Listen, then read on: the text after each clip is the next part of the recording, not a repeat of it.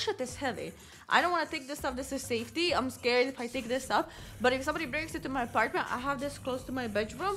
I take it and I fucking kill them. So don't bring it to my apartment. Because a lot of people on Twitch say that they want to steal my dog because of how cute she is. And baby, you are very cute. You are very cute. But I'm scared that those people are going to break into my apartment, so I'm just gonna chop, chop, chop them up. Like wood. And also I'll chop their wood. Don't bring it to my apartment. Don't try